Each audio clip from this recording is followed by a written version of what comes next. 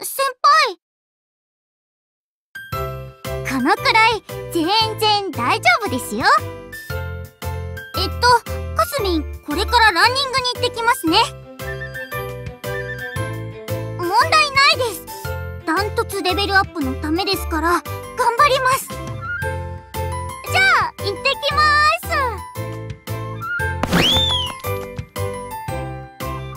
あなたも。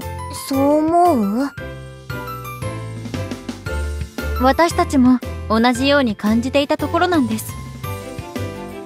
帰りにカフェに寄ってもドーナツを1個も食べられないくらい疲れてるみたいで。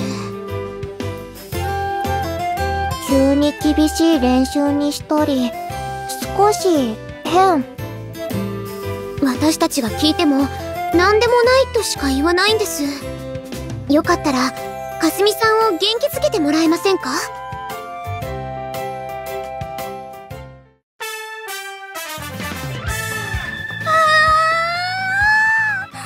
ケーキ。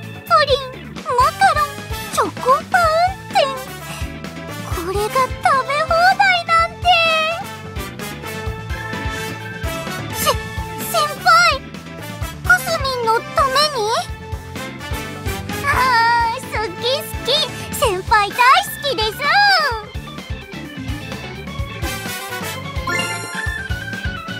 先輩かすみんのことよく見てくれてるんですね。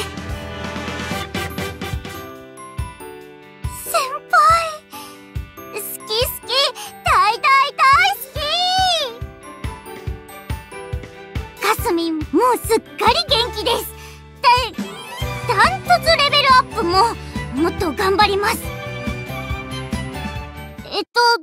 元気出たのでかすみん今日はゼリーとヨーグルトだけにしておこうかな。